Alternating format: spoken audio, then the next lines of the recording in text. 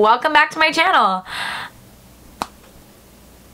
It's been a minute, hey? Like, I think it's been like, oh god, I don't even know, six months or something like that. I think once in this video I said it's been nine months and then I was like, I don't think it's been that long, but whatever. I'm back. Basically, I'm just gonna do this look right here, which is my kind of everyday look. This is my go-to these days. I'll walk you guys through the products and uh, basically catch you up on my life.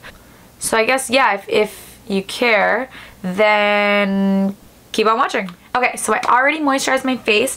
I used the, what is this? I used the Vichy Aqualia Thermal Gel Cream. I got sent this in the mail from um, Influenster. I don't know if you guys have ever heard of that website, but it's freaking awesome. They send you things, everything from skincare to makeup to like you, they could send you food, they could send you tea, like it depends on what you set up with them. So yeah, so they sent me this and it's freaking awesome gel cream. It like settles into your skin really nicely and yeah, it just feels great. It doesn't feel oily or anything like that. So once that's settled in now, I'm gonna go ahead with my primer. Sorry, this is so dirty. It's embarrassing. My concealer kind of exploded. But anyways, so this is the Becca Evermatte Poreless Priming Perfector. I freaking love this stuff. Um, makes my pores look almost invisible, I would say. I don't know, it's nice and thick. It's kind of tacky and it just feels like it's really getting in there. And then also it really helps to balance out the oiliness a lot. So I usually just put it right in my T-zone. And you guys, sorry about my voice. Like, I don't know what happened. I'm not sick. I don't feel sick at all. But we just got back from Mexico uh, three days ago. And like ever since we were getting on the flight, my voice has just been, I don't know, manly, sexy, if you will. Okay, anyways, I'm gonna go ahead and start with foundation. Now I have been using the, again, super dirty, Joe Fresh um, Hydra Stay Liquid Foundation. I really like this stuff because it is nice like uh, skin finish kind of, so it's not too thick and it's not too light. This is the shade, I think this is shade Sand. So I just put a pump of that on the back of my hand and then just for a little bit more coverage, I'll also add one pump of the Becca Ultimate Coverage Complexion Creme. This one is super thick, super full coverage, very matte. So I just, I have my Joe Fresh there and I just put like half a pump in there as well. And I'll just mix it together with my brush and I'll start painting that on the face.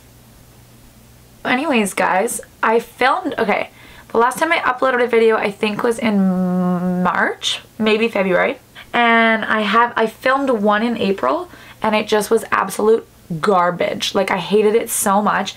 My thing my problem has been like the last year or so has just been like super dramatic for me I would say. I mean it's not one thing in general. There's been so much going on for me. It's been like the longest year of my life, but also the fastest year.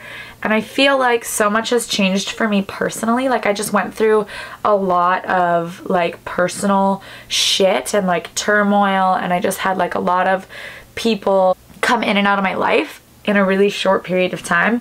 And then also just like I was figuring out like what I wanted and like I don't know, I was just in a weird like rut and I just didn't really feel like being on camera. I don't know. That sounds so stupid. Okay, so now I have my foundation on. I'm going to go ahead with concealer. I'm going to mix two. So I have my Maybelline Fit Me in the shade 10 Light. And then I've got my Tarte Shape Tape, which, by the way, this is the little demon that exploded over uh, basically everything. This is the shade Fair. I'm going to go in mostly with the Fit Me and then just do a little bit of the um, Shape Tape right in kind of like the hollows right in here. So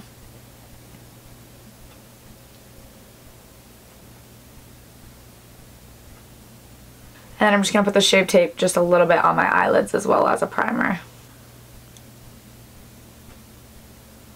I'm just going to go ahead and set that with my Maybelline Fit Me powder. This is uh, in the shade 10 Fair Light. I'm just going to put that under my eyes and then also in my T-zone for now.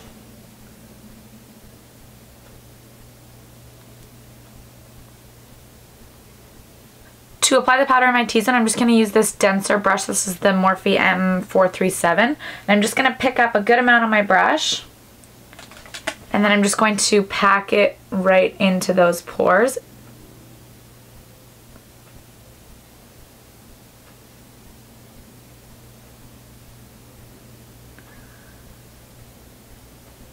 Okay, while that sets, I'm just going to jump to brows and then we'll come back and finish off powdering the face. I've been going really light with brows lately. I don't know, all through summer I was way too lazy to even really do anything with my makeup. So I've been going light on the brows, just literally just powder. I really feel like so much has happened since I filmed last though. Like we moved, the house we were living in was um, sold so we had to move and we um, moved into a house with two really good friends of ours. So it's been super fun and crazy but it's also, that's another thing. Like it made it really hard to film because there's always someone home. There's four of us living in a three bedroom basement suite, right? So it's it's been busy. But also, like, my mom got married in July. I freaking have changed jobs like 40,000 times, I feel like. I don't know, man. I've just been all over the freaking place and it's been crazy. I honestly am so just like ready for life to slow down. I don't know. I mean, does that ever happen though? I don't think so. By the way, I'm just using the little brush from the um, Benefit Ka-Brow kit thingy.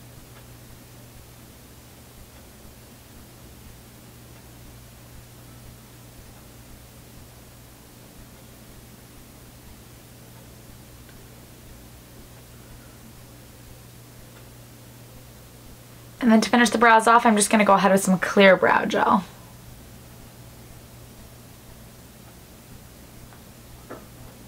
Okay, now that brows are done, I'm going to go ahead with my big fluffy brush and I'm just going to put a light layer of powder over the rest of my face and kind of wash away the baking that we had.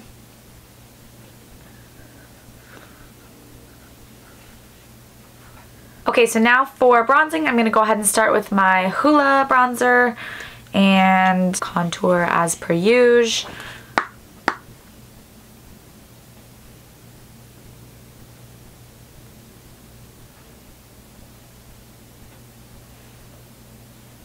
Okay, now I have my Hoola bronzer on. I'm going to go directly over top of that with my Milani Baked Bronzer. This is in the shade Soleil, and it's a little bit warmer than Hoola bronzer. So I like to start with the Hoola to give like the contour, and then I just go over this to bronze it all up and warm it up a little bit.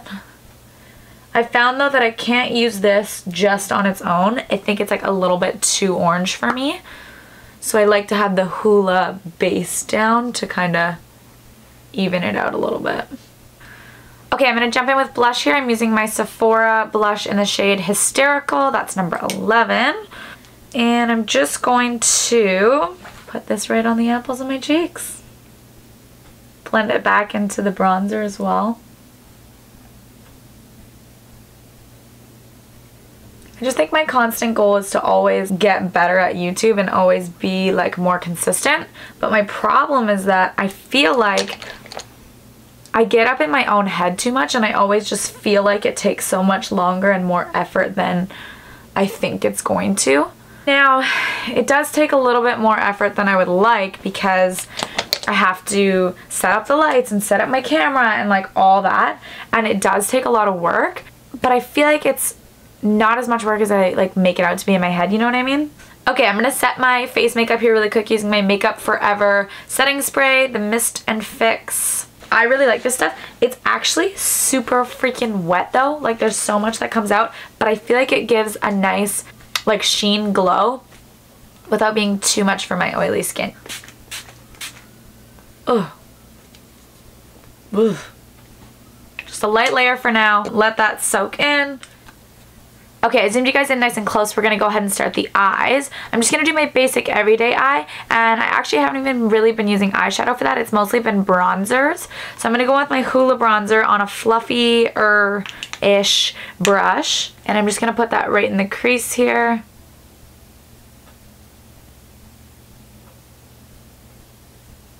And then slightly into the outer corner. Oh, that looks messy, doesn't it? Take a fluffier brush with no product on it and just kind of buff that out and make sure everything's cleaned up a little bit here. Okay, I'm going to go in with a flat dense brush. This is the flat end of the double-ended brushes from the ABH palettes. And I'm just going to go into my Shade and Light. And I'm actually just going to use this darkest shade over here that I never use on my face. And I'm just going to really pack that into my brush. And then pack that onto my outer corner. Actually, I'm to pack that across my whole lid. I think another reason why I'm just so like ready to get back into all of this is because I feel like I love doing it so much and it's such a fun hobby of mine, but I've been working so much lately that I just have like literally had no time for myself. I've been working like 10 to 12 hour days, two to four days a week for the last like three months and I'm so exhausted all the time that like I just don't have time to do anything. You know what I mean? And then when we went to Mexico, I was just like, oh yeah, like, I need to fucking relax, man. I've been really loving using bronzers as eyeshadows because it's not too pigmented. You know what I mean? Like it's super diffused. So it doesn't give you anything too crazy or out of control. I'm just going to fill in my lower lash line with brown liner. And then I'm going to go ahead and highlight my brow bone and inner corner with my um, Gleam Glow Kit. Shocker. If you've seen any one of my other videos, then you know that's the go-to.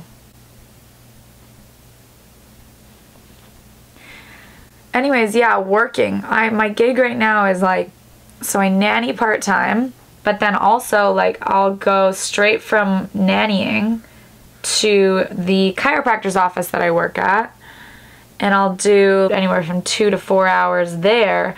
So I leave my house at like 6.45 in the morning and then I get home anywhere between 5.30 at the earliest and 7, 7.30. But that being said, like I don't want to sound like I'm just like bitching about my whole life.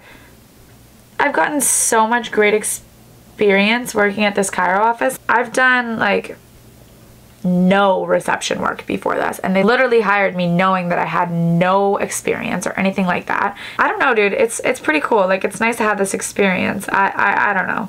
I feel like I definitely want to start getting like more creative though with my YouTube videos. Like I want to start doing cool shit, you know, not just everyday looks or whatever. I want to um, push myself basically. I, I'm not really good at Halloweeny stuff. Like I'm really bad at that stuff.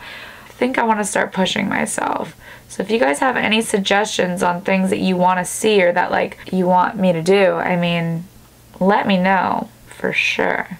Okay, I'm just going to quickly throw on some lashes. I'm going to use my uh, double wispies from Ardell. They're pretty used and abused, but that's okay. So lash application is kind of an art. You want to wait until the glue is tacky on your lash band so it's not too wet that it's sliding all over the place, but you don't want to wait too long that it's too dry and then it doesn't stick to your eye. So play around with it, find what works best for you, and then you'll take it. I take it on my tweezers. Some people do just their fingers. I don't get a steady enough hand for that. So I just go and I drop it right down in the middle first. And then I'll go to the left side. So for this eye, it'd be the outer corner. Other eye is the inner corner, obviously. And I'll stick that down. And then I'll come into the other side and stick that part down.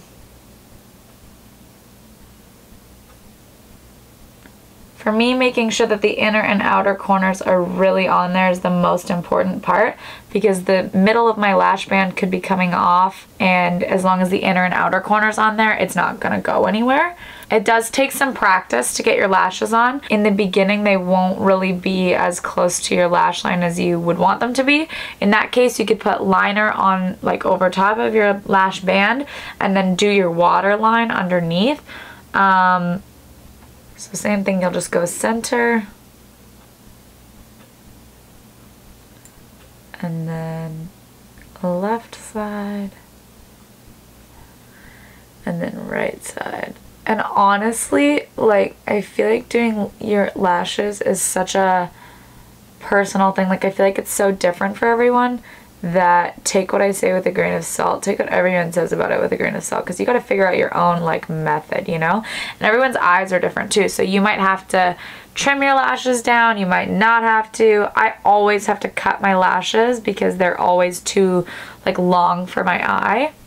And if you have them hanging over the end of your eye, your eyes are just to look like merp, you know? And I have enough of that already. I really don't need help with that, I guess.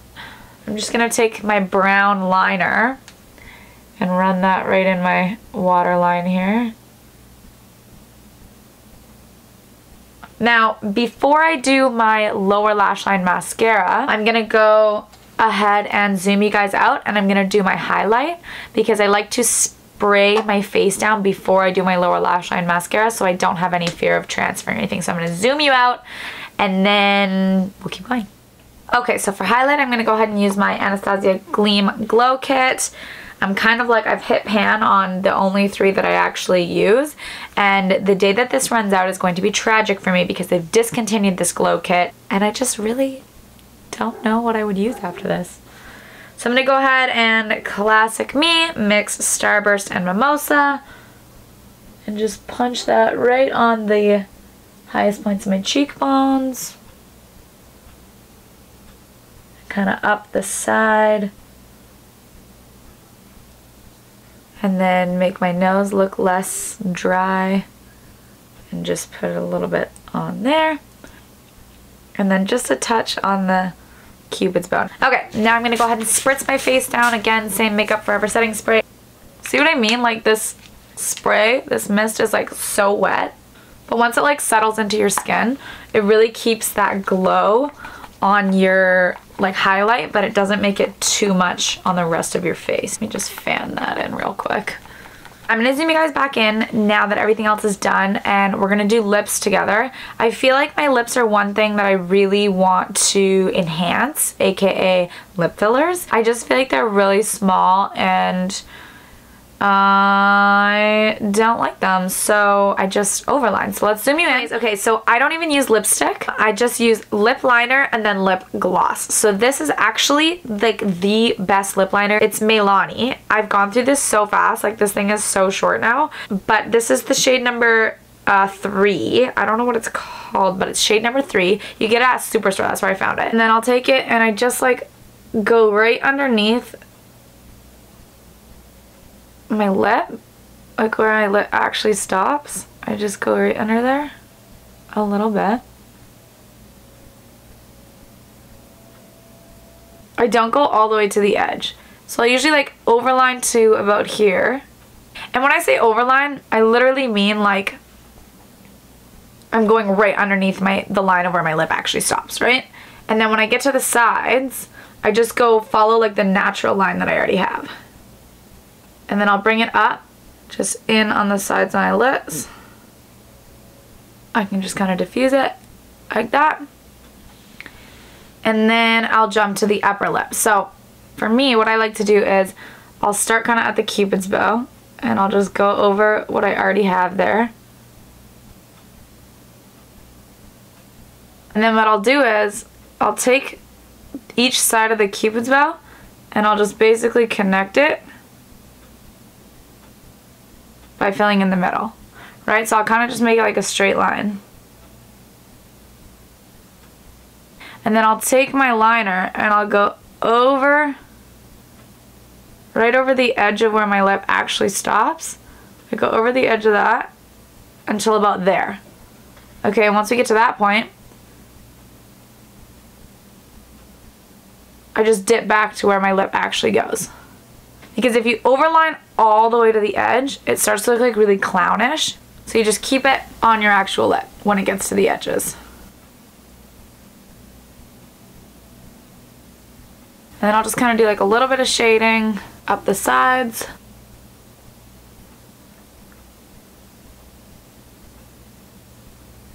Buff it in a little bit.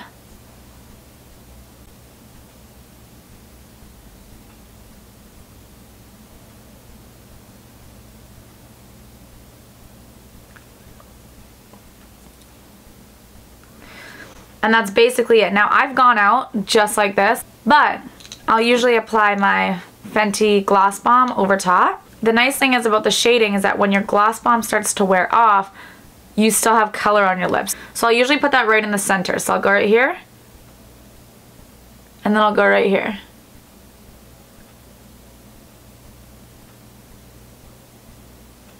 And that's that's it for lips.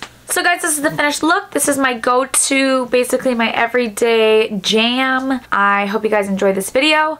I, you know, thanks guys for actually like coming back. Those of you that did. I mean, it's been a minute and I, uh, I should start taking this more seriously. I'm happy to be starting back on this. If you guys like this video or like this look or like me maybe, subscribe to my channel, give this video a nice thumbs up and leave a comment on what you guys want to see next time because I'm really bad at making decisions. So I will see you guys in my next video. Okay, bye! Uh, oh, fuck. Oh. I'm gonna jump in my brush.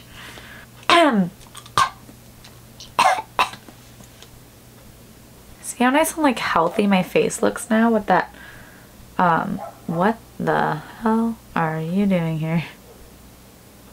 How long has that been like that?